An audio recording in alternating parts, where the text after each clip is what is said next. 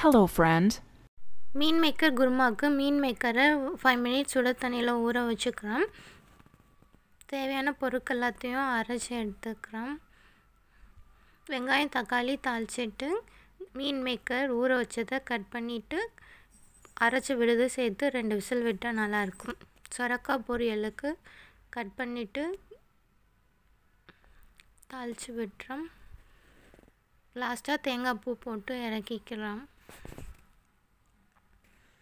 நீங்கள் இந்த மாதிரி சொரக்காய் பண்ணுவீங்கன்னு கமெண்ட் பண்ணுங்கள் உளுந்து கஞ்சிக்கு ரெடி பண்ணுறதுக்கு சுட தண்ணி காய வச்சுருக்கேன். மாவை தண்ணியில் கரைச்சி ஊற்றுனா கட்டிப்படாமல் இருக்கும். அதனால் மாவை தனியாக தண்ணியில் கரைச்சிக்கிறேன்.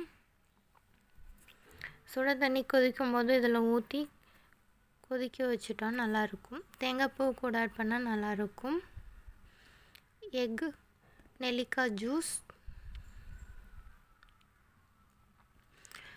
லஞ்ச் பாக்ஸுக்கு இன்றைக்கி சாம்பார் சாதம். முருங்கைக்காய் மட்டும்தான் இருந்தது. அதனால் முருங்கைக்காய் சாம்பார் சாதம் பண்ணுறான் பசங்களுக்கும் உளுந்து கஞ்சி கொடுத்தாச்சு. ஃப்ரூட் வந்து பொமகரனேட் சாம்பார் சாதத்தில் நெய் ஊற்றி மிக்ஸ் பண்ணிக்கலாம். நல்லா இருக்கும். பசங்களுக்கு கொடுத்து விடும்போது நெய் யூஸ் பண்ணிக்கோங்க.